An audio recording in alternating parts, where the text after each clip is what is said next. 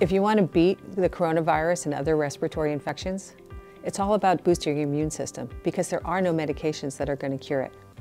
Now, when you think about boosting it, how about think about a little alphabet soup?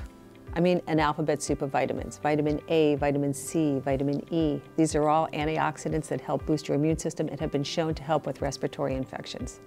Same thing with something called NAC, N-acetylcysteine. That helps create something called glutathione in your body, which is one of these super, super power major antioxidants of all time. And then there's zinc. Zinc's a mineral, and it's been shown to help deter upper respiratory infections, and in particular, it was very successful with the SARS virus in 2003. Since that's another coronavirus, there's a lot of belief that zinc can help similarly deter coronavirus. So alphabet soup, A, C, E, N, A, C, and some zinc.